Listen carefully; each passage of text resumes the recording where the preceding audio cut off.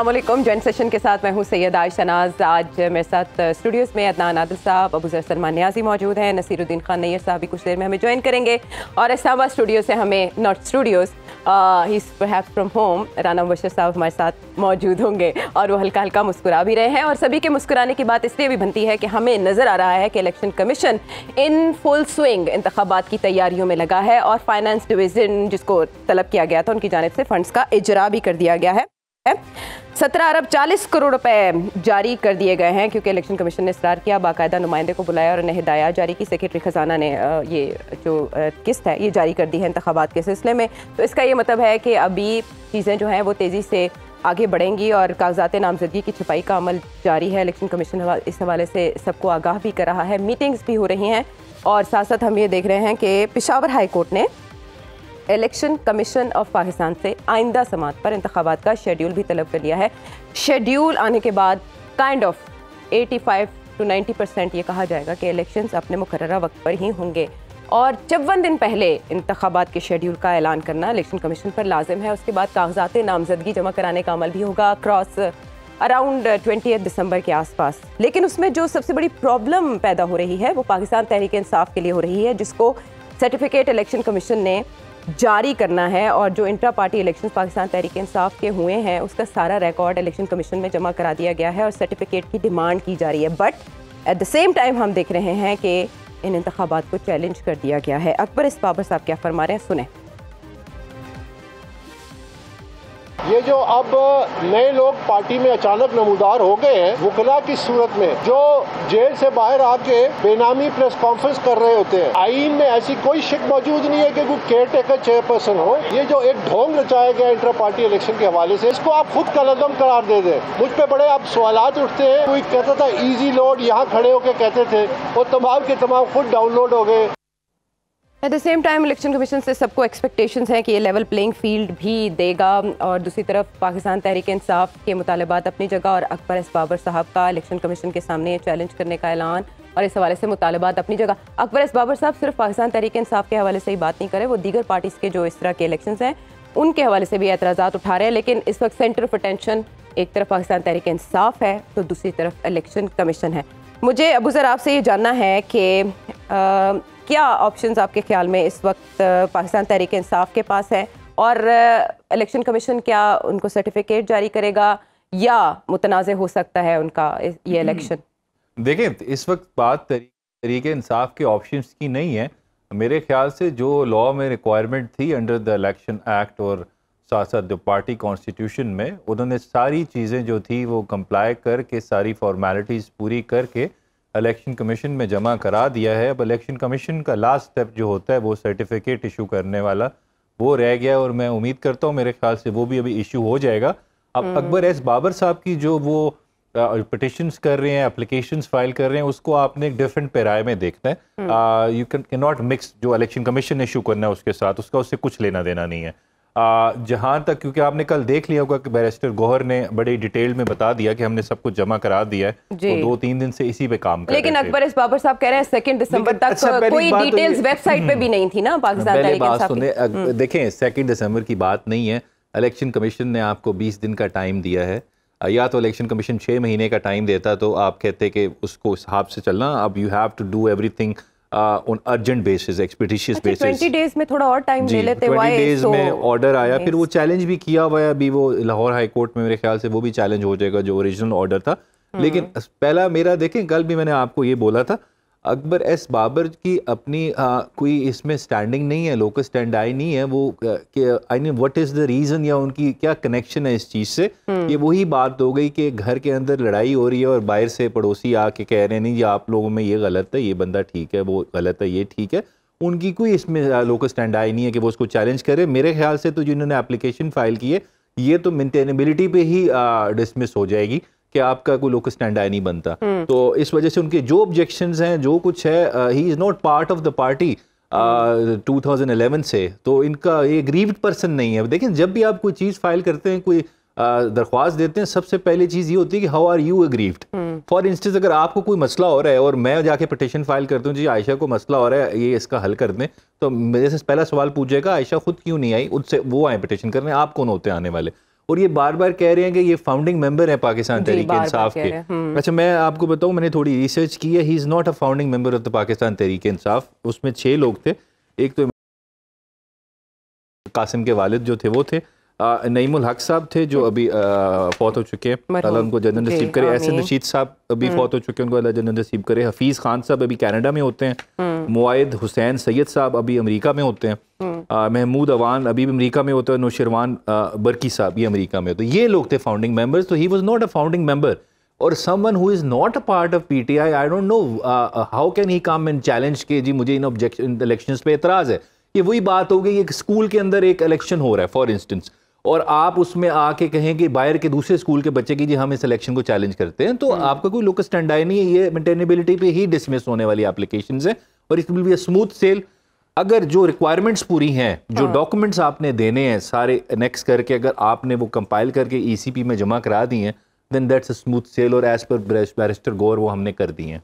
अच्छा उसमें वो ये भी कह रहे हैं राना साहब के गैर जानबदार फरीक जो है, वो इस पर मुकर्र होना चाहिए, जो मॉनिटर करे इंतबात को। हमने गैर जानबदार मुबसरीन आम इंतबात में तो देखे हैं। अकबर इस बाबर साहब के इस मुतालबे को आप क्या समझते हैं, किस हद तक जाना जाएगा और ये तमाम सियासी जमातों पर अप्लाई होगा? देखिए, अकबर इस बाबर साहब को बड़ा क्लियरली बता दिया अबू जर ने कि वो स्टैंड कहाँ पे करते हैं, उनकी स्टैंडिंग है क्या।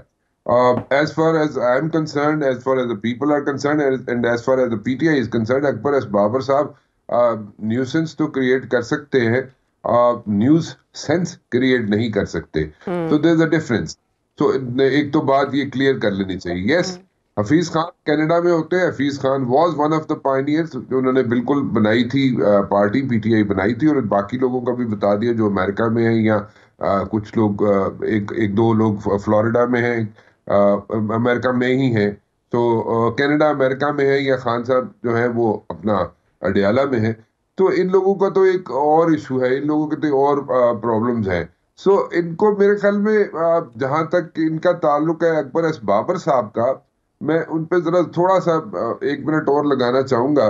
वैसे ज़रूरत तो नहीं है उन पे गुफ्तगु करने की, क्योंकि वो ऐसे ही एक मसला ही क्रिएट करने वाली गाड़ी कि वो इन्हें द प्रॉब्लम में कि आटा गुंदे हिंदी क्यों? इन्हें द प्रॉब्लम में अकबर एस बाबर साहब। तो उन्होंने अच्छा लेकिन देखें एक फ़र्क है बाकी पार्टीज़ में और पाकिस्तान तहरीक इंसाफ में कि किसी और पार्टी में हमने मुनहरिफ रहनुमा को ऐसे नहीं देखा कि पार्टी के हवाले से वो इतना मुतहरिक हो कि पहले फंडिंग का मामला लेके जाए और अब इंट्रा पार्टी इलेक्शंस का वो कहते हैं वो यकम दिसंबर को पहुँचे भी थे वहाँ पर लेकिन उनकी सुनवाई नहीं हुई। फिर वो वीडियो साथ लेकर गए और उन्होंने अटैच किए सबूतों के साथ बाकी पार्टीज़ की इंट्रा पार्टी इलेक्शंस पे जब भी बात होती है वहाँ किसी शख्सियत ने इतना अपोज नहीं किया इतना टफ टाइम नहीं दिया पार्टी क्यादत को जिस तरह अकबर एस बाबर साहब दे रहे हैं। अच्छा ममनुआ फंडिंग में तो कहा जाता था वो किसी की पिच पे खेल रहे हैं। अब ये इंटर पार्टी इलेक्शन में वो किसकी पिच पे खेल रहे हैं राना साहब? पिच पे नहीं चाबी दी है किसी ने। चाबी भी नहीं देती चाबी भी अंडर स्टेटमेंट है बुजर साहब। तुम और पिच जो है किसकी पे खेल रहे हैं उनके पास पिच है ही नहीं है। वो तो हमेशा स्लिपरी पिच पे खेलते रहे हैं। लेकिन एक एक और आपने सवाल किया था ऑब्जर्वर्स की बात की थी आपने। ऑब्जर्वर्स जो है मैं, मैं आपको ये बता सकता हूँ कि ऑब्जर्वर्स जो है पाकिस्तान में पहली दफ़ा देखिए पहले तो आपने देखा तो ऑब्जर्वर्स आते थे इलेक्शन में आके देखते थे ऑब्ज़र्व करते थे कि जनाब किस तरीके से इलेक्शन हो रहे हैं कहाँ पे उसमें फ्लॉज हैं और उनको आइडेंटिफाई करते थे और उनको जनाब बताते भी थे अपनी रिपोर्ट्स फ़ाइल करते होते थे। लेकिन दिस टाइम थिंक टैंक्स भी आ रहे हैं। और थिंक टैंक्स का आना इस चीज़ की आई वुड से इंडिकेशन है कि यहाँ पे इलेक्शन कमीशन हो या जिन लोगों ने इलेक्शन करवाने हैं दे आर वेरी कॉन्फिडेंट मतलब अब ये कॉन्फिडेंस क्यों है इतना मेरी समझ से बाहर है लेकिन द पॉइंट इज़ कि अगर इतना कॉन्फिडेंस है कि सिर्फ़ ऑब्जर्वर्स के साथ साथ आप थिंक टैंक्स को भी इनवाइट भेज चुके हैं। जैसे ये भी आपके लिए खबर है कि इनवाइट एक्सटेंड चुका है। ठीक है तो थिंक टैंक्स देखिए मेरी बात सुने इलेक्शंस के हवाले से तो बादल छट रहे हैं वो तो हमें समझ आ रही है कि इलेक्शन अपने मुकर्रा वक्त पर ही होने जा रहे हैं। बात बल्ले के निशान की है बैलेट पेपर पर। हमें उसके बारे में बताया राना साहब कंफर्म देखिए बल्ले का निशान जो है मैंने पहले भी कई दफ़ा कहा था कि बल्ले का निशान एक्चुअली होना चाहिए। और मेरे ख्याल में मेरी जाती जो ख्याल है मेरा एनालिसिस मेरा जाती है it's not based on any information और इंटेल आई पर्सनली थिंक बल्ले का निशान बैलेट पेपर पर होगा। Okay. और उसको अगर इस तरह इस तरह अगर किया जाएगा अगर उसको कोई भी उसके लिए रीजन तलाश की जाएगी हम्म। तो मेरे ख्याल में उससे ज़्यादा वो प्रॉब्लम्स खड़ी होंगी। ठीक है आ, मैं ये नहीं कहता हम्म। ज़्यादा सीटें निकाल लेंगे या वो कोई टू थर्ड मेजोरिटी निकाल लेंगे बल्ले वाले। नहीं ऐसा नहीं है। है। लेकिन एटलीस्ट उनका निशान होगा। अभी तो तक हरफी then, तसली इतना ही काफ़ी है कि उनका निशान होगा। फिर इसी को हम लेवल प्लेइंग फ़ील्ड भी कह सकेंगे। किसी हद तक कि कम से कम वो मौजूद तो है बैलेट पेपर पर। फिर उसके बाद आवाम की राय सामने आएगी। लेकिन मेरा ख्याल है दानादे साहब इलेक्शन से पहले जो इलेक्शन कमीशन का एक सबसे बड़ा चैलेंज है वो ये फैसला करना है इन इंतबात के हवाले से। कैसे इलेक्शन कमीशन अपनी गैर जानबदारी साबित कर सकता है इस मामले में? उसको क्या ज़रूरत साबित करने की? अब तो फिर तो उन्होंने में। तो तासुर उनके बारे में यही है कि उनका तहरीक इंसाफ के बारे में रवैया जो है वो कोई ज़्यादा अच्छा नहीं है। जैसा कि दूसरी पार्टियों के बारे में कुछ वो रवैया है, उससे ज़्यादा सख्त रवैया उनका तहरीक इंसाफ के बारे में। तमाम पार्टियों के इलेक्शन इसी तरह होते हैं, जैसे तहरीक इंसाफ के हुए हैं। जो असूल उन पे लागू होता है वही तहरीक इंसाफ पे भी होना हाँ चाहिए लेकिन वो कह रहे हैं कुछ कयादत मफरूर थी सेक्रेटरी जनरल साहब भी थे उन्होंने इलेक्शन करवाना था फिर पैनल भी डमी था। अच्छा एतराज़ सिर्फ़ वो अकबर एस बाबर साहब नहीं कर रहे बल्कि एक और मेंबर भी हैं उन्होंने भी दरखास्त दायर करके ऐसे ही एतराजात आयद किए हैं। तो इलेक्शन कमीशन को तो ये मामला देखने होंगे ना। हाँ तो इतराजात तो दूसरे पार्टीज़ पे भी। करते हैं। दूसरी पार्टीज़ पे भी होते हैं लेकिन उनको इतनी मीडिया कवरेज नहीं मिलती। बाज़ लोगों को ज़्यादा मीडिया कवरेज मिल रही है मखसूस हालात हैं और जो एक पार्टी है उसके मुखालिफिन जो हैं बहुत इस वक्त ताकतवर पोजीशन में हैं निगरान हुकूमतों में भी उनके लोग शामिल हैं। तो वो एक मीडिया को इंश्योर कर रहे हैं कि उनके खिलाफ किरदार कुशी की मुहिम और उनके खिलाफ मुतनाज़ा बातें मीडिया पर इस तरह उछाली जाएँ कि अवाम में ये तासर उनका उनका इमेज ख़राब किया जा सके। और अब वो अलग बात है कि अभी तक उनका जो बीस माह हो गए हैं वो कुछ बिगाड़ नहीं सके उनकी मकबूलियत कम होने की बजाय ज़्यादा हो रही है। और यही बात उनके लिए ज़्यादा तशवीश की बात है। और ये जो इलेक्शन के बारे में एक बेयकीनी की फ़ज़ा फैलाई जा रही है कि फ़ंड्स देर में दिए गए। अभी जो है मौलाना फजलुर रहमान भी कह रहे हैं कि दो सूबों के जो दो सूबों के अमन अमान की सूरत हाल अच्छी नहीं है। तो वाकई अमन अमान की सूरत हाल में तो मसाइल हैं लेकिन ऐसे तो पहले भी रहे हैं। 2018 में भी थे 2013 में भी थे 2008 में भी थे। तो मसाइल तो पाकिस्तान में अमन अमान के बहुत तवील अरसे से हैं उसमें लेकिन फौज ऐसे नहीं का भी मामला ना कि फौज फिर उधर मसरूफ है तो इधर कैसे तो, तो पहले भी मसरूफ थी 2008 में नहीं थी 13 में नहीं थी 18 में नहीं थी मसरूफ तो पहले भी थी। मकसद ये है कि तहरीक इंसाफ जो है उसको ये श्योर ना हो कि इलेक्शन होंगे या नहीं होंगे लोगों को उसके सपोर्टर्स को ये बे यकीनी रहे ताकि वो तैयारी ना कर सकें वो कोई अपनी हमत अमली तरतीब ना दे सकें और वैसे भी उनके बहुत सारे लोग जो हैं वो जेलों में हैं एमपीओ के तहत मेंटेनेंस ऑफ़ पब्लिक ऑर्डर के तहत कुछ डेढ़ सौ के करीब पंजाब में जारी हो चुके हैं उनके लोग जो हैं वो बंद हैं। तो आप उनकी उनके दफ़ा एक दिन दफ्तर लाहौर में खुला सेंट्रल पंजाब का सेक्रेटेरिएट दूसरे दिन बंद हो गया बंद कर दिया गया। तो एक पार्टी को आप बिल्कुल दीवार से लगा रहे हैं और लेकिन बहुत हद तक इसार इस बात का कि इलेक्शन वक्त पे होंगे अदलिया पर है। उस अदलिया को जिसमें सुप्रीम कोर्ट हाई कोर्ट शामिल हैं वो उन्हें इंश्योर करना पड़ेगा कि इलेक्शन जो है वक्त पर हो जाएँ और तमाम पार्टीज़ जो हैं वो उसमें हिस्सा लें।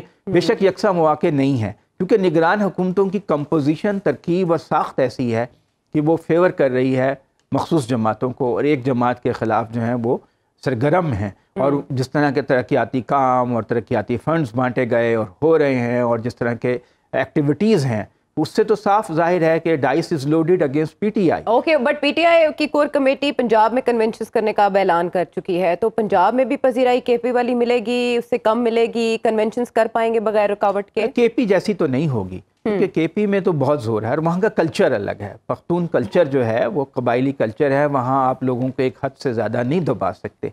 पंजाब का एक फ्यूडल कल्चर है फ्यूडल मिजाज है यहाँ पे इंतज़ामिया जो है उसका ज़ोर ज़्यादा चलता है। लेकिन बहरहाल हालात बदल गए हैं। अभी दबा तो ये लेंगे आप लेकिन ताकत के ज़ोर पर आप क्या हासिल करेंगे? अगर इलेक्शन के दिन साठ सत्तर फ़ीसद लोग बाहर निकल आते हैं जैसे राजनपुर में हुआ कि आप तो तो कर रहे थे कि अट्ठाईस तीस हज़ार वोटों से आपका उम्मीदवार जीत जाएगा और वो उलट रिज़ल्ट आ गया तमाम तर कोशिशों के बावजूद। आपने लोगों के घर भी गिराए उसके बावजूद ऐसा हो गया। तो इंतज़ामिया का ज़ोर हर वक्त नहीं चलता। हालात बदल गए हैं। बहरहाल एक अच्छी बात यह है कि फ़ंड्स रिलीज़ हो गए हैं। मेरा ख्याल है जब तक अदलिया राज़ी नहीं होती चीफ जस्टिस राज़ी नहीं होते ये इलेक्शन को डिले नहीं कर सकते। चीफ जस्टिस की अप्रूवल चाहिए इलेक्शन को डिले और इसमें अदलिया की तरफ़ से आरोज देने और ब्यूरोक्रेसी से आरोज लेने में क्या फ़ायदा क्या नुकसान हो सकता है? देखिए जी सरकारी अफसरान जो हैं उन पे इंतज़ामिया का ज़ोर होता है और जिस तरह इस वक्त वो बिहेव कर रहे हैं एक पार्टी के ख़िलाफ़ उनसे हम्म। ये तो कम है कि वो एक मुनफाना आज़ादाना इंतबात कंडक्ट कर सकेंगे और रिज़ल्ट जो हैं ऐसे दे सकेंगे जिस पर सबको अतमाद हो। जबकि अदलिया के बारे में बहरहाल ये तासर है कि वो नस्बता ज़्यादा आज़ादी के साथ काम करेंगे और आरओ के लेवल पर कोई ऐसी रिज़ल्ट हम्म, जमा करने में हम्म, हम्म। वो तनाज़ा नहीं खड़ा होगा। बहरहाल अगर बाहर से लोग मॉनिटर करने आ रहे हैं और देखें पाकिस्तान की सियासत में अमेरिका और इंटरनेशनल एजेंसीज जो हैं उनका एक रोल रहा है। क्योंकि वो हमें फंड्स देते हैं हम इकतसादी तौर पे उनके ऊपर डिपेंडेंट हैं। हम्म। तो उनका भी जो रोल होगा वो अहम होगा। बिल्कुल ऐसे ही अहम होगा जैसे अभी आपका तजिया साहब अब अब आप हम पे तंज करें। नहीं मैंने कहा आपने मल्टीपल इश्यूज़ के ऊपर इतना मुख्तसर जामे तबसरा दिया ऐसे ही उनकी तरफ़ से भी हैं हाँ, हाँ। लेकिन वो बेसिक क्वेश्चन की तरफ़ वापस आऊँगी और नैर साहब आपसे रहनुमाई चाहूँगी इससे पहले राना साहब और अबू सर इस पर इजहार ख्याल कर चुके हैं। अकबर इस बाबर साहब ने जो चैलेंज किया इन नतज को। मुझे आपसे ये जानना है कि वो ये कह रहे हैं कि एक गैर जानबदार फरीक मुकर किया जाए, वो इलेक्शन की निगरानी करे, जब तक शफाफ ना हो, तब तक बल्ले का निशान ना दिया जाए। उन्होंने जो साथ वीडियो सबूत मुंसलिक किया, उसकी अहमियत क्या है? और इलेक्शन कमीशन के लिए आसान होगा इन इंतबात को कलदम करार देना? और एक सवाल मैं भी ऐड करता हूँ, मेरा नैयर साहब को बेहतर बेहतर से बेहतर इलेक्शन लॉज आते हैं। नैयर साहब, इसका ये भी बता दें कि अकबर एस बाबर साहब खुद कंटेस्ट कर सकते थे इलेक्शन इंट्रा पार्टी इसका भी जवाब हाँ, ये तो अगर अकबर एस बाबर साहब पार्टी के रुकन ही नहीं है। तो ये कंटेस्ट भी नहीं कर सकते थे। एक मैं दूसरी बात सभी मीडिया के दोस्तों से कहूँ कि अकबर एस अहमद साहब को इतनी ज़्यादा अकबर एस जो भी है नाम भी नहीं जिनका अभी तक याद हो सका कितने अहम होंगे। अकबर एस अहमद साहब को इतनी ज़्यादा अहमियत ना दी जाए वो सरे एक शरारतबाजियाँ कर रहे हैं एक उनके मन में कोई मैलस है या प्रेजुडिस है अगेंस्ट पी टी आई हालाँकि उनका अपना ना कोई पॉलिटिक्स है, ना वो पोलिटिकली स्टेक होल्डर है। ना उनकी कोई जमात है, ना उनका कोई इंतबी मुस्तबल है। वो सिर्फ़ एक सपॉलर का रोल प्ले करना चाहते हैं तो भले कर लें। लेकिन अब आज जैसे बताया गया है न्यूली इलेक्टेड चेयरमैन ने कि हमने तमाम डॉक्यूमेंट्स इलेक्शन कमीशन में जमा करवा दिए। अब उनकी स्क्रूटनी इलेक्शन कमीशन का काम है कंप्लेंट हो या ना हो। अकबर अहमद साहब कोई कंप्लेंट फ़ाइल करते हैं तो इलेक्शन कमीशन में जाए वहाँ कंप्लेंट फ़ाइल कर लें। No but is going to stop them लेकिन उससे पहले उन्हें अपना लोकल स्टैंडर्ड इस्टेब्लिश करना पड़ेगा कि वो किस बुनियाद पर ये कंप्लेंट फ़ाइल कर रहे हैं कि how is an aggrieved person ठीक है। और वो इस्लामाबाद के रहायशी और पीटीआई मेंबर जो राजा ताहिर नवाज़ साहब है उनकी तरफ़ से जो दरखास्त एक, एक आ गई है पिटीशन तो ये हो जाएगा इलेक्शन कमीशन को फैसला करने दीजिए। तो एक बात अदरान साहब ने सही इशारा किया कि इलेक्शन कमीशन तमाम कानूनी पेचीदगियाँ और कानूनी मुशगावियाँ सिर्फ़ पीटीआई के मामले में ही क्यों निकालता है? कई साल से देख रहे हैं फॉरेन फंडिंग केस में पीटीआई ने कहा दीगर जमातों की भी इंक्वायरी और इन्वेस्टिगेशन और फोरेंसिक इन्वेस्टिगेशन साथ साथ की जाए। अभी तक किसी की नहीं पीटीआई की हो गई। तोशाखाना के मामले में उन्होंने कहा सभी जिम्मेदार हुकूमती अहलकारान ने बल्कि वज़ीर अजम साहबान ने तोशाखाना से नाजायज़ फ़ायदे उठाए हैं। कवानीन के बरक्स वहाँ से मरायात और मफादत लिए हैं। उन्हें आज तक इलेक्शन कमीशन इन्वेस्टिगेट नहीं कर रहा। तकरीबन सभी पार्टीज़ के सबमिटेड डॉक्यूमेंट्स पर इसार कर लिया जाता है। पीटीआई के जो सबमिटेड डॉक्यूमेंट्स हैं, रिगार्डिंग द इलेक्शंस, उन्हें कंडेम करके रिजेक्ट कर दिया जाता है। और जानते हुए कि पार्टी किस कदर मुश्किल का शिकार है, जहाँ पार्टी एक इज्तम भी नहीं कर सकती, उसे नए पार्टी बेस्ड इलेक्शन में डाल दिया जाता है। लेकिन उन्होंने एक इलेक्शन करवाए हैं। अब इलेक्शन कमीशन को फैसला करने दीजिए। किसी भी आदमी को इलेक्शन कमीशन के फैसले को प्रियम्प्ट करने की इजाज़त नहीं होनी चाहिए। ठीक है। इलेक्शन कमीशन के पास अगर कंप्लेंट है तो इलेक्शन कमीशन एक फैसला करेगा। हाँ जब वो फैसला करेगा तब वो फैसला पब्लिक डोमेन में होगा। चले प्रियम्प्ट नहीं कर रहे लेकिन दो सिचुएशंस हो सकती है ना। एक तो ये कि बल्ले का निशान मिले और इलेक्शंस को मान लिया जाए कि वो शफाफ हुए हैं। ये तो चले all good for PTI then दोनों डिफरेंट चीज़ें इलेक्शन में एक बात बता दूँ। इलेक्शन की शफाफियत मैच बल्ले के निशान से लिंक नहीं है। अच्छा। पीपल्स पार्टी से तलवार का निशान छीन लिया गया था इसी इसी डिवाइस के तहत इसी माइंडसेट के तहत। हम्म। लेकिन उन्होंने तीर के निशान पे इलेक्शन लड़ा 1988 में कौमी असम्बली की अक्सरियतें जीत ली। और आज तक पीपल्स पार्टी तलवार की बजाय तीर के निशान पे ही इलेक्शन लड़ रही है। ठीक है। निशान उतना अहम नहीं है हम्म। जितना सियासी आज़ादी अहम है। सब लोग कह रहे हैं लेवल प्लेइंग फ़ील्ड नहीं मिल रही। दो साहब एक तो साहब शामिल हो गए, जो सबसे ज़्यादा फेवरेट हैं हर बड़े हलके के, जनाब मौलाना फजल रहमान साहब, उन्होंने भी कहा लेवल प्लेइंग फ़ील्ड नहीं मिल रही। ये सब मीडिया वॉच कर रहा है। बिलावल साहब बता दें, उनके किस कारकुन को गिरफ़्तार किया गया? कहाँ उनका जलसा मुंतशर किया गया? कहाँ उन्हें जलसा करने की इजाज़त नहीं मिली? कहाँ पोलिटिकल एक्टिविटी करने की इजाज़त नहीं मिली? उन्होंने योम तसीस कोयटा जैसी सेंसिटिव प्लेस पे रखा। वहाँ उन्हें इजाज़त मिली। के पी में हर जगह सेंसिटिव एरियाज़ में उन्होंने मूव किया है। He was permitted to address public gathering अब गैदरिंग तो पब्लिक की हमने नहीं देनी या लोगों ने नहीं दे लोगों का फैसला है कि वो नहीं जाते तो लेवल प्लेइंग फ़ील्ड नहीं मिलती। लोग आपने अट्रैक्ट करने आपको इजाज़त है। मसला तो उन लोगों का है जिनके पाँच आदमी भी इकट्ठे नहीं हो सकते। मसला तो वो है जिनका एक भी दफ्तर नहीं खुल सकता। पीएमएलएन अपनी बेहतरीन इलेक्शन मैनेजमेंट से गुजर रही है इस वक्त। उनके पार्लियामानी बोर्ड के डेली मीटिंग्स होती हैं। ठीक है उनका इलेक्शन मैनेजमेंट का एक्सपीरियंस बहुत ज़्यादा है। वो इंतबी तैयारियों से अपनी जमात को गुजार रहे हैं। वो पंजाब की हद तक बतरी के ऐसा काम कर रहे हैं। केपी में अलायंस बना रहे हैं। जी। अगर लेवल प्लेइंग फ़ील्ड नहीं मिल रही तो सिर्फ़ एक जमात को नहीं मिल रही जो दूसरे लोग कह रहे हैं वो कहीं अपने आप को साबित करें ना कि ये वो मुकाम है। भाई वफाकी हुकूमत आपकी मशावरत से बनाई गई। आपके सूबा की सूबाई हुकूमत आपके मशावरत से बनाई गई। पंजाब की सूबाई हुकूमत आपको अज़ीज़ थी। के पी की हुकूमत में आपकी मशावरत शामिल है। सिर्फ़ इशारा कर दें कि ये वो मुकाम है जहाँ हमें वो हैसियत हासिल नहीं है, है। हाँ अगर उनका ये ख्याल है कि हमें मसनू अक्सरियत दिलाई जाए तो वो भी किसी के बस की बात नहीं। हम्म। लोगों के पोलिंग स्टेशन तक जाने का इंतज़ार करें। ठीक है। ये साहब आज बड़ी फॉर्म में है। ये साहब बेसिकली लेवल प्लेइंग फ़ील्ड का इनका मतलब ये है कि favourite child of the system बनना है हाँ, नहीं कि हमें एक नहीं तो यही ठीक है ना कि एक रिज़ल्ट उन्हें थमा दिया जाए हाँ। हाँ। लेकिन कैसे थमा दिया जाए हम्म। अब वोटर लिस्ट है पोलिंग स्टेशन है ब्लॉक सिस्टम है लोग अपने पोलिंग स्टेशन पे वोट डालने जाएँगे लोग जिसको जी चाहे वोट डालें उन्हें डालने दे ठीक है और हर कैंडिडेट को खा उसका तलक किसी भी जमात से हो हम्म। अगर वो मेंबर है रजिस्टर्ड पॉलिटिकल पार्टी का उसे इंतबी मुहिम की इजाज़त हो और अगर वो बतौर सिटीज़न ऑफ़ पाकिस्तान एलिजिबिलिटी पर पूरा उतरता है और आज़ाद हैसीत में इलेक्शन लड़ना चाहता है उसे भी अपने हल्के इंतब में मुहिम चलाने की पूरी आज़ादी होनी चाहिए। तब ये इलेक्शन शफाफ इंतबात कहलाएँगे। तब ये इलेक्शन गैर जानबदाराना इलेक्शन कहलाएँगे। होती है हर हाँ, लेकिन मुझे हाँ, आपसे ये जाना नेक्स्ट स्टेप टू अभी प्रियम्प्ट करने की बात हुई चले सर्टिफिकेट जारी हो जाता तो it's all good for PTI लेकिन अगर कोई एतराज़ उठता है इलेक्शन कमीशन की तरफ़ से तो उसको इस्लामाबाद हाई कोर्ट पे चैलेंज किया जाएगा। देखें मैं दो चीज़ें हैं मैं वो कहता डिस्टिंग्विश कर लें issuance of certificate is a different thing और ऑब्जेक्शंस हम्म। जो so called objection Akbar S Babar साहब हाँ। के हैं उनको एंटरटेन करना इज़ अ डिफरेंट थिंग ये दोनों डिफरेंट मौाक़े पे दोनों चीज़ें डिसाइड होंगी ये कठिन नहीं होगी कि सर्टिफिकेट रुक जाए क्योंकि इनके ऑब्जेक्शन आए हैं। That is that will not happen और जहाँ तक अगर कोई ऑर्डर आता है तो इलेक्शन कमीशन का जो फैसला होता है फिर उसको चैलेंज आप इस्लामाबाद हाई कोर्ट में। करते हैं।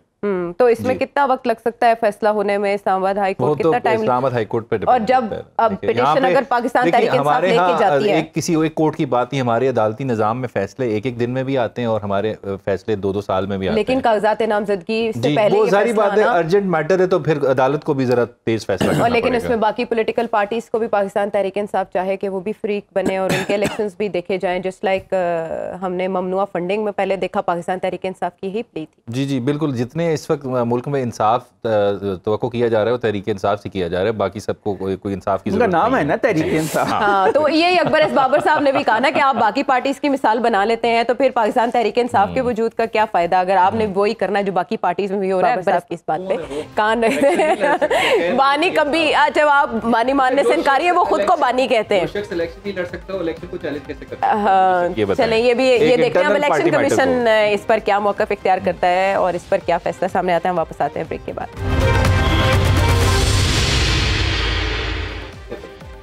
Welcome back to the show. ऐसे में जब हम देख रहे हैं कि इलेक्शन कमीशन इंतबात के इनका के हवाले से तैयारियों में मसरूफ़ है तो दूसरी तरफ़ आम इंतबात मुलतवी करने की मुतद दरख्वास्तें भी इलेक्शन कमीशन में पहुँच चुकी हैं। इन दरख्वास्तों का मुस्तबिल क्या है, वो तो अपनी जगह अहम है, लेकिन इलेक्शन के इनका के हवाले से, पार्टीज़ का जो मुतालबा है और हल्का बंदियों के हवाले से जो एतराज़ात हैं उनको लेकर इलेक्शन कमीशन किस कदर दबाव में है? ये सवाल अपनी जगह हम हैं, लेकिन मौलाना फजल रहमान जिनकी बात अभी हमारे शो में हुई वो अमन अमान के हवाले से जो उज़र पेश कर रहे हैं इंतबात के माहौल की जो बात करें, वो उन्हीं की ज़ुबानी सुनिए।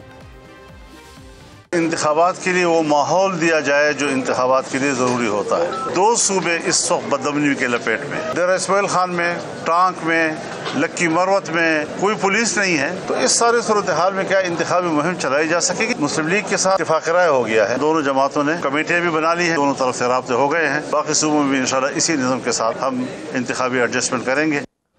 सुना आपने राना साहब, इससे पहले मैंने अदनान आदिल साहब से ये सवाल किया था कि हमारी फ़ौज तो मुख्तलिफ़ महाजों पर मसरूफ़ है। जब पंजाब और के पी में इलेक्शन की बात हुई थी तो तब भी यही बताया गया था कि कुछ ऐसे चैलेंजेस हैं जिनसे नबर्द आजमा है हमारी फ़ौज। और अभी फ़ौज की तैनाती के वाले से सवाल अपनी जगह पर बरकरार है। मौलाना साहब का ये जो इस हवाले से उनका कहना है, तीन मुख्तलिफ़ मकाम का तस्करा और फिर दहशत गर्दी की लहर, इसमें कितनी जान है और जो मुलाकात उनकी नवाज़ शरीफ साहब से हुई है क्या उसमें इंतबात के अल्तवा पर भी कोई बातचीत हुई? देखें एक बात तो बिल्कुल क्लियर है इसमें कोई शक नहीं है। इसको प्लीज़ इसको दूसरी साइड से मत लीजिएगा क्योंकि आधा प्रोग्राम आपने टॉम क्रूज पे कर दिया है। Oh sorry Akbar S Babar साहब पे कर दिया है। तो मिशन इम्पॉसिबल इसको छोड़ दे। एक चीज़ मैं बिल्कुल क्लैरिटी के साथ बता दूँ देखिए जहाँ तक लॉ एंड ऑर्डर की सिचुएशन है yes it's it is serious और कई चीज़ें ऐसी हैं to to be very honest मैं शायद नहीं डिस्क्लोज कर पाऊँगा यहाँ पे लेकिन लॉ एंड ऑर्डर की situation is not very smooth it's it's very very serious and उसकी उसकी हीट जो है हम लोग फेस uh, कर रहे हैं लेकिन आउटसाइड द बिग सिटीज़ और लेकिन सीरियस इश्यूज़ हैं सीरियस कंसर्न्स हैं और बहुत सीरियस मसाइल हैं। तो. इसको प्लीज़ लिंक कीजिएगा इस डिबेट के साथ कि जनाब अगर सीरियस प्रॉब्लम्स हैं तो इलेक्शन अच्छा, नहीं फौज की तैनाती क्यों ज़रूरी है? आपके ख्याल में बाई इलेक्शन ही अभी माजी करीब की बात है। उसमें हमने देखा सियासी जमातें एतराज़ कर रही थी फौज की तैनाती के हवाले से। फिर कहा गया कि एक फौजी एहलकार पोलिंग स्टेशन के बाहर तैनात होगा।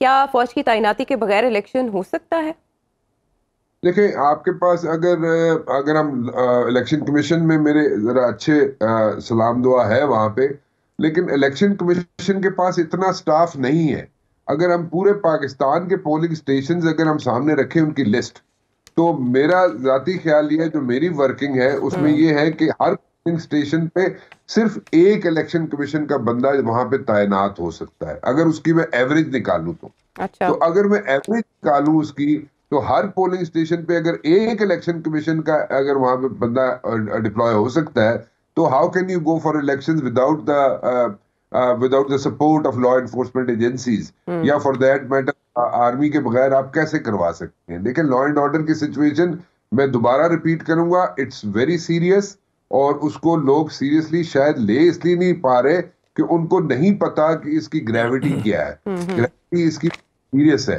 हम्म, हाँ जो मसला मौलाना फजल रहमान साहब का मौलाना फजल रहमान साहब ने जो तीन पॉइंट्स जो रेज किए हैं तीन आइडेंटिफाई किए हैं जगह जो सी वो पहली दफ़ा उन्होंने कोई अच्छी बात कर ली है लेकिन वो तीन जो आइडेंटिफाई किए हैं जगह वाकई ही वहाँ पे केपीके के इलाके में वहाँ पे वाकई ही प्रॉब्लम्स हैं लॉ एंड ऑर्डर की सिचुएशन वाकई ही है। और मुझे तो हैरत तो कि ना डीजल की प्राइस ऊपर हुई ना नीचे हुई लेकिन मौलाना साहब ने बात बड़ी अच्छी कर दी। हम्म। अच्छे आदमी है पुराने आदमी है और जो बात आप कह रही है कि उनकी जो मुलाकात हुई थी मियाँ नवाज़ शरीफ साहब से और वहाँ पे कोई डिले का मसला पैदा हुआ discussion I have no clue I have no clue वहाँ पे डिस्कस हुई है ये चीज़ ये नहीं हुई। लेकिन ये बात ज़रूर मुझे पता चली है कि वहाँ पे लॉ एंड ऑर्डर की सिचुएशन केपीकी में हुई है। अब हम्म। ये वो ये नहीं है कि मौलाना साहब एक्सक्यूज ढूंढ रहे हैं। No to be very honest मौलाना साहब एक्सक्यूज नहीं ढूंढ रहे ढूंढ रहे। मौलाना साहब इलेक्शनों से भागने का कोई रास्ता नहीं ढूंढ रहे। वहाँ पे लॉ एंड ऑर्डर की सिचुएशन ज़रूर खराब है। हाँ उन तीन इलाकों के अलावा हम्म। अगर मौलाना साहब भागने की लिए कोशिश कर रहे हैं इलेक्शन से तो वो उस पर डिस्कशन हो सकती है। उसको मतलब कि हम एक एक स्टेप में डिस्कस कर सकते हैं। लेकिन यस लॉ एंड ऑर्डर की सिचुएशन इज़ वेरी सीरियस तो इस अदनान साहब, सिर्फ़ ये लॉ एंड ऑर्डर की बात भी नहीं है, हल्का बंदियों को लेकर सिंध में भी हम एतराज़ा देख रहे हैं। अगर वो एतराज़ा जाते हैं अदालतों में तो कितना वक्त ले सकते हैं? ये तो अब अदालतों पे मुनसर है वो इमरजेंसी जान कितनी लगती है आपको ये हल्का बंदियों के हवाले से? चले उसकी बुनियाद पे ये तो है कि अस्सी फ़ीसद जो हल्का बंदियाँ पंजाब की हैं वो चैलेंज हो गई हैं। हम्म। तो अगर उसके ऊपर बहुत तफसील से सारा दोबारा रिवीजन पे काम हो तो उसमें डिले तो हो सकता है और नून लीग के हल्के तो कह रहे हैं कि इलेक्शन शायद मार्च में हो। तो ये तो चेमगोइयाँ हैं मगर जैसा कि अब इसके ऊपर तो पाबंदी लग गई है कि आप कोई ऐसी बात ही नहीं कर सकते। तो इलेक्शन तो आठ फरवरी को होंगे हम भी इस बात पे यकीन रखते हैं। ठीक है। तो लेकिन अब ये है कि जो बाज़ लोग ये समझ रहे हैं कि शायद के में अगर सूरत हाल इतनी ख़राब है जैसा कि हमारे साथ ही राना मुबशर साहब भी इसकी तरफ़ इशारा कर रहे हैं तो हो सकता है कि कुछ इलाकों में इलेक्शन ना पोलिंग ना करवाई जाए उसमें बाद में करवा दी जाए। तो इस बात का इम्कान भी मौजूद है। इसको भी हमें मद्देनज़र रखना चाहिए। लेकिन उससे फिर इलेक्शंस की जो साख है और जो क्रेडिबिलिटी है वो भी मुतासर होने का ख़तरा है।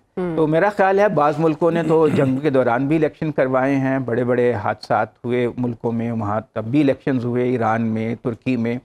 तो हमें भी आ, कुछ आ, इसके ऊपर अपनी डिप्लॉयमेंट जो है जज्वी तौर पर इंटरनल सिक्योरिटी के लिए मुख्त करके इलेक्शन करवाने की तरफ़ ही बढ़ना चाहिए क्योंकि उससे ज़्यादा मसाइल जन्म लेंगे ना करवाने की हाँ लेकिन अगर कुछ पॉलिटिकल पार्टीज़ अपनी आवाज़ों में ज़ोर पैदा करके बाइकआउट का ऐलान करते हैं कि ऐसे इलेक्शंस में हम शरीक ही नहीं होंगे तो उससे क्या असर पड़ेगा मजमू इंतबी माहौल पर उससे तो फिर इलेक्शन की क्रेडिबिलिटी ख़त्म हो जाएगी अगर बाइकआउट की तरफ़ जाएँगे तो टर्नआउट कम होगा ख़ास तौर से अगर तहरीक इंसाफ बाइकआउट की तरफ़ जाती है तो टर्नआउट हम्म। बहुत ही कम हो जाएगा। लेकिन ये कि मेरा नहीं ख्याल कि तहरीक इंसाफ बाइकआउट करने की गलती करेगी वो इलेक्शन एमक्यूएम जैसा कि एमक्यूएम को मशवरा भी दिया गया ना एमक्यूएम तो बाइकआउट कर दे अगर आपको की तो अब कोई वैल्यू नहीं है कराची में हम्म। वो नून लीग और जेयूआई के साथ मिलकर इलेक्शन लड़ने की तरफ़ जा रहे हैं वरना वैल्यू तो वहाँ उसी की है जो लंदन में बैठा है हम्म। या फिर तहरीक इंसाफ की पीपल्स पार्टी की तहरीक लबैक की जो वहाँ की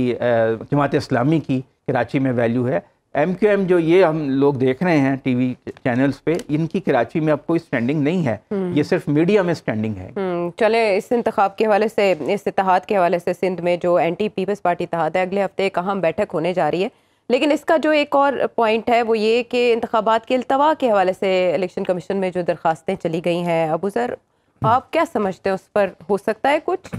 नहीं मुझे नहीं लगता इलेक्शन कमीशन इस तरह का कोई ऑर्डर पास कर सकता है क्योंकि सुप्रीम कोर्ट ऑफ़ पाकिस्तान में ये केस जो है ऑलरेडी वहाँ पे आपको पता है चला है और वहाँ पे काफ़ी सख्त ऑब्जर्वेशन हैं हम्म। खासकर जो जस्टिस अतर मिनला साहब थे उन्होंने तो काफ़ी उसमें सीरियस किस्म की हम्म। आ, मेरे ख्याल से ऑब्जर्वेशन भी दे दी आ, उनके खिलाफ हुकूमतों के तो मेरे ख्याल से इलेक्शन कमीशन इतनी बड़ी मेर मुझे नहीं लगता इतनी बड़ी जसारत करे कि वो इलेक्शन को डिले की तरफ़ जाए। ये दरखास्तें क्यों जा रही हैं आपके ख्याल में इतनी बड़ी तादाद में कि आम इंतखाबात ये जो होती है ना इन दरखास्तों के पूरे पीछे ना पूरी एक साइंस है ठीक है? आ, ये ऐसी दरखास्तें ना पाकिस्तान की जुडिशल हिस्ट्री का पार्ट है। बड़ी बड़ी बड़ी दरखास्तें आती हैं। मैं अभी को लेटेस्ट बताता हूँ आपको तीन जो चार आई हैं। एक मोहम्मद साजिद नामी शहरी था उसने टेरियन वाइट वाला केस फ़ाइल किया था आपको याद हो? हम्म। उसके एन नंबर ही नहीं है वो पता नहीं कौन है। लेकिन उसने पाकिस्तान के टॉप के थ्री महँगे वकील जो करोड़ों में फ़ीस लेते हैं वो उसने हायर किए। फिर अब उसके बाद ये आज एक लतीफ़ साहब आ गए। उन्होंने वो इद्दत वाला केस जिसपे हम डिस्कस कर चुके हैं देखें इतनी फजूल चीज़ है जिसको मेरे ख्याल से हमें मीडिया पर डिस्कस भी नहीं करने देना चाहिए। कुछ अखलाकियात होती हैं कुछ बैरियर्स होते हैं उनको क्रॉस भी नहीं करना चाहिए। लेकिन वो एक लतीफ़ साहब आ गए। हम्म। अच्छा वो लतीफ़ साहब को आप देखें आ, मतलब कि मुलाजिम है लेकिन ब्रांड न्यू टोयोटा करोला में आए और उस करोला को नंबर सुजुकी गाड़ी का लगा हुआ था। मैं आप देखें और साथ साथ मुँह छुपा के मुँह भी नहीं दिखाना चाह रहे सारे दरखास्त गुजार अलर्ट हो जाए अब गुजर तय में पहुँच जाते हैं। अच्छा और अब ये दरखास्त गुजार इनमें से कोई बंदा नॉन फिगर नहीं होगा ठीक है? मुझे समझ नहीं आती कहाँ से आते हैं लेकिन ये एक हमारे जुडिशल प्रोसेस का पार्ट है। ये एकदम नमूदार होते हैं जैसे बारिश में कीड़े नहीं निकल आते हाँ। तो उस तरह ये लोग भी निकल याद है। एक्सटेंशन वाला भी हाँ। चैलेंज करने कोई आ गया था कोई कहीं तो से रियाज अनीफ राई था वो तो राई साहब लेकिन हाँ। क्यों आए थे? फिर वो आपको याद हो रात को एक अदालत हाँ। खुली थी एक पिटिशन आई थी। तो वो भी एक निकल आई थी। तो ये इस तरह के करेक्टर्स होते हैं हमारी सोसाइटी का पार्ट है जिनको पकड़ना मुश्किल ही नहीं नामुमकिन नामुमकिन होता है नामालूम अफराद होते हैं। जो किसी हद तक मालूम होते हैं। वापस आते हैं हम एक ब्रेक के बाद। Welcome back to the show जैसे कि अभी बात हुई कि सिंध में एंटी पीपल्स पार्टी इतिहाद की अगली बैठक होने जा रही है। चीज़ें शायद कॉन्क्रीट लेवल पर चले जाएँ क्योंकि मौलाना साहब दूसरी बार नवाज़ शरीफ साहब से मिल रहे हैं और वो बता रहे हैं कि कहाँ कहाँ सीट एडजस्टमेंट कहाँ कहाँ इतिहाद हो सकता है। ऐसे में बिलावल भुटो जरदाई साहब के तो हमें आइडिया है कि वो कुछ अर्से से नवाज़ शरीफ साहब को तनकीद का निशाना बना रहे हैं। लेकिन जरदारी साहब ने पहली बार ये कहा है कि इमरान खान साहब के बाद अब नवाज़ शरीफ साहब लाडले बन चुके हैं। क्या मानी रखता है जरदारी साहब का इमरान खान साहब की जगह पर? अब नवाज़ शरीफ साहब को रखना नहीं है साहब ज़रा पी एम एल एन को थोड़ा सा, सा अंडर प्रेशर लाना चाहते हैं। ज़्यादा जो है अटैक वो बिलावल साहब की तरफ़ से हो रहा है। लेकिन ये जैसी भी क्यादत है पाकिस्तान पीपल्स पार्टी के गर्चे इसमें बड़े मंजे हुए पार्लियामेंटेरियन हैं। लेकिन कितना भी मंजा हुआ पार्लियामेंटेरियन या सियासतदान क्यों ना हो अवामी हमायत के बगैर सियासत बेमानी होकर रह जाती है। पंजाब में उनकी अवामी हमायत बिल्कुल नेगलिजेबल लेवल पर है, कि काबिल ज़िक्र भी नहीं। अगर आप आखिरी इलेक्शन 2018 को बुनियाद बनाएँ तो ये टीएलपी से भी बहुत नीचे हैं। अभी तक उन्होंने पंजाब का रुख नहीं किया। 2013 से हम सुन रहे हैं जरदारी साहब के बारे में कि अब मैं आइंदा सियासत पंजाब में बैठ के करूँगा, लाहौर में बैठ के करूँगा। यहाँ को करोड़ों मालियत का एक महल उनका मुंतजर रहता है लेकिन इन्होंने कभी पंजाब दिया नैयर साहब? को सेंटर ऑफ़ पॉलिटिक्स नहीं बनाया। करोड़ों नहीं अरबों का है आज आप बहुत शरारतें कर रहे हैं। मैं नहीं वैसे अरबों का ये ना समझा जाए कि अरबों का अरबों का दूसरों का है। लेकिन बात यह है कि पीपीपी ने अल्टीमेटली पीपीपी की जो ख्वाहिश है वो ये है कि किसी रहा। तरह से पीएमएलएन का नंबर ऑफ़ सीट्स इतना रिड्यूस किया जाए कि उनके साथ अलायंस इनएविटेबल हो जाए। मौलाना साहब ज़्यादा स्मार्ट पॉलिटिशियन है। उन्होंने इब्तदा में एक स्मार्ट मूव बनाई है कि जेयूआई ने बलूचिस्तान और सर के पी की हद तक पीएमएलएन से इलेक्शन अलायंस बना लिया है। कम अज़ कम इन सूबों में वो एक इलेक्ट्रल बैटल की पोजीशन में आ जाएँगे। जेयूआई का रवायती वोट बैंक बलूचिस्तान की पश्तून बेल्ट में मौजूद है और केपी के भी पश्तून बेल्ट में जेयूआई की फॉलोइंग मौजूद है सारी उम्र से। और ये, और प्रेसिडेंसी कम तक रास्ता साफ़ कर सकती है मौलाना का मौलाना की तरफ़ से मौलाना के मुख्तलिफ़ हल्के ये कह रहे हैं कि प्रेसिडेंट ऑफ़ पाकिस्तान क्यों नहीं बन सकते? हो सकता है ऐसे नहीं है साहब नहीं मौलाना साहब की अब सिर्फ़ अलायंस की पॉलिटिक्स है। उनकी पॉलिटिक्स का कैनवस ही बड़ा मुख्तर है। वो कभी भी 10, 12, 15 कौमी असम्बली की नशस्तों से ज़्यादा सियासत ना उन्होंने की है ना कर पाए हैं। अच्छा। उन्हें हमेशा कोलिशन अरेंजमेंट ने सूट किया है।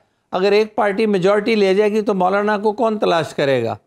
पीपी पी- को भी यही फ़िक्र है कि कहीं पीएमएलएन किसी ऐसी सूरत में कि पीटीए बिल्कुल फॉल कर जाए या कहीं फ्रस्ट्रेट होकर बाइकआउट कर जाए या उसके कैंडिडेट्स को इलेक्शन लड़ने ही ना दिया जाए या इंतखाबी निशान ही ना दिया जाए या उठा लिया जाए तो पीएमएलएन वन वे ट्रैफ़िक में ना जीत जाए कोई भी सूरत हो जाए।